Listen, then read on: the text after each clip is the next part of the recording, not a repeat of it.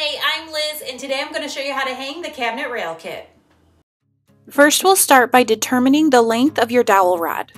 When measuring, make sure to leave a half inch to one inch of overhang on either side of the mounted straps. Now we'll measure and mark the center of the door and use this as a guide to mark where your straps will be installed. Make sure to also measure from the top of the door down to ensure the straps are hung level. Before installing the screws, double check the thickness of the door compared to the size of the screw. You don't want the screw to end up poking through the front of the door.